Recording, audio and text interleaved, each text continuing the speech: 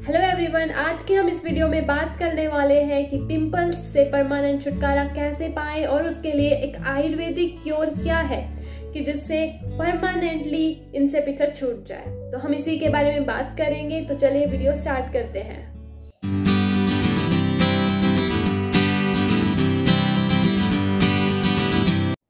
तो pimples cure करने के लिए हमारे पास उसके कॉजेज होने चाहिए कि जो पिंपल्स हुए हैं, वो आउटर पोल्यूशन के कारण हुए हैं या इंटरनली हमारी बॉडी में कुछ कमियाँ हो गई हैं, इसके कारण हुए हैं।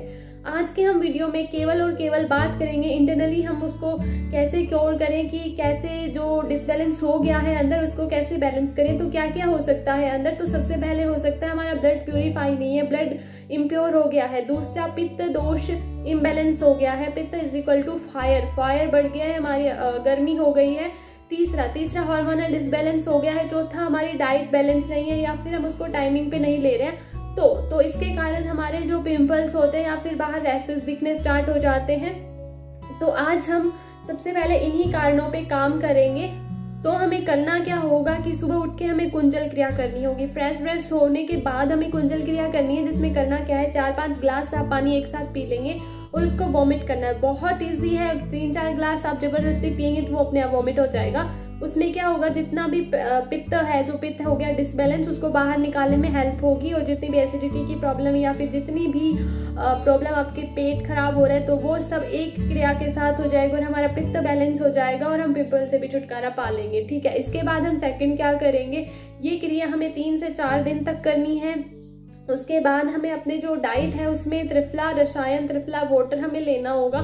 तो त्रिफला वाटर क्या है? त्रिफला वाटर में हमें हरित की, विभित की और आमले की का चूरन मिलता है। तो हम उसको रात को भिगो देंगे। एक गिलास पानी में हम दो चम्मच त्रिफला चूरन भिगो देंगे और सुबह उसको छान करके केवल और केवल वो पानी पीना है। ठीक है? उसके बाद हमारे जो ब्रेकफास्ट है, उसमें हम स्पाउटेड सीड्स ऐड करेंगे। स्प्राउटेड सीड्स होते हैं प्रोटीन के भरपूर होते हैं तो वो हमें हेल्प करेंगे इंटरनली हार्मोन बैलेंस करने में और जितनी भी गर्मी है उसको भी खत्म करेंगे, ठीक है? उसके बाद हम रात को सोने से पहले गुलकंद लेंगे, गुलकंद हम दूध में मिला करके लेंगे और इसके बाद हम करेंगे घी ऐड हमारी डाइट में हम घी ऐड करेंगे दूध में हम ले सकते हैं, खाने में हम ले सकते हैं, हर जगह हमें जहाँ जहाँ घी की ज़रूरत होती है, वहाँ हम घी ऐड करेंगे। गाय का जो घी होता है वो फैट नहीं करता है तो ये मिथ आप अपने आप दिमाग से हटा दीजिए कि घी अगर खाएँगे तो मोटे हो जाएँगे।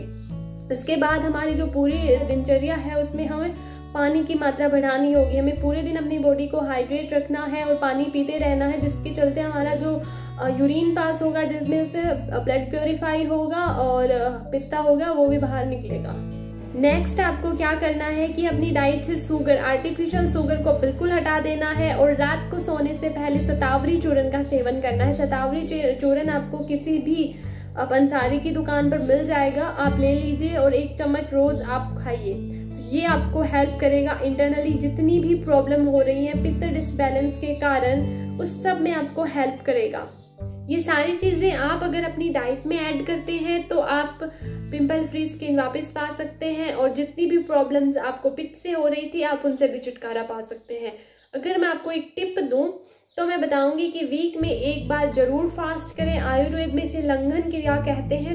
तो इसको आप लिक्विड डाइट के साथ कर सकते हैं या फिर ओनली सैलेड के साथ कर सकते हैं। तो आप इससे पाएँगे कि आपका मेटाबॉलिज्म ठीक है डाइजेशन ठीक है ब्लड भी प्यूरिफाई है और पित्ता बैलेंस है और पित्त के साथ वात एंड कफ भी बैलेंस है। तो आप देखेंगे कि आपकी स्किन और बॉडी फिर से रिकवर करने लग जाती है। सेकेंड पार्ट वीडियो में मैं आपको बताऊँगी कि बाहर आप कौन से कौन से लेप लगा सकते हैं और आयुर्वेद में ऐसी कौन सी चीज़ें हैं जो आप लेपन कर सकते हैं और आपका सौंदर्य फिर से पा सकते हैं। और अगर आपको मुझे पर्सनली कुछ भी पूछना है तो इंस्टाग्राम का लिंक मैंने डिस्क्रिप्शन में दिया है और कमेंट कर मुझे ज़रूर बताइए कि कौन से टॉपिक पर आप मुझे सुनना चाहते हैं।